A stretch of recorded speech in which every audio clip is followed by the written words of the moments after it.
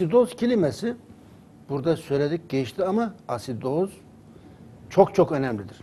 Neden önemlidir? Asidoz niçin önemlidir? Nedir asidoz? İnsan vücudunda dört ana tampon sistem var. Kimyasal. Eritrosis ve hemoglobin tampon sistemleri, protein tampon sistemi, eee, fosfat tampon sistemi ve bikarbonat, karbonik asit denge sistemi. Yani dört tane tampon sistem var. Şimdi kişi protein ağırlıklı beslenirse et, peynir, yumurta vesaire çok yerse ne olur? Yağlar yağ asidine yağ asidi aside dönüşür. Kandaki asit oranı yükselirse ne olur?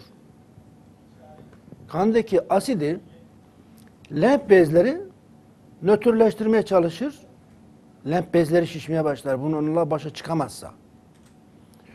Kanın pH değeri 7.40. 7.35'e doğru kayarsa tehlikeli. O zaman hayati tehlike başlar. 7.45'in üstüne çıksa da tehlikeli. Yani insan doğduğu günden öleceği güne kadar kanındaki pH değeri 7.40'tır. 7.35 ile 7.45 arasında gider gelir. Binde ikilik oynama olur, fazla olmaz. Asidik ortamda mesela kanın diyelim ki şey kalbin pH değeri 7.6.9. 6.5'e doğru kaysa kalp krizinden ölebilir kişi. Eklemlerde asidik ortama doğru kaysa eklemlerde e, asit kemikleri, kıkırdakları eritir. Damarların içerisinde asit oranı artarsa ne olur?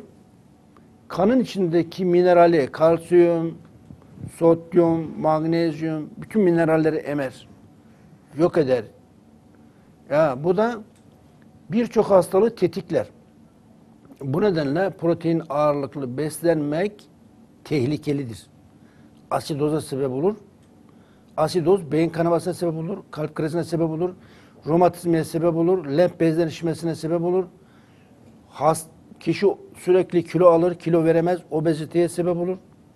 Yani asidoz tehlikelidir. Yani sırf protein ağırlıklı besinlerle beslenmek tehlikelidir. Et, peynir, yumurta yiyenlerde ürük asit çok yükseldiği için romatizmaya yakalanır, romatizmadan kurtulamaz. Yani bu nedenle sağlıklı beslenmek gerekir.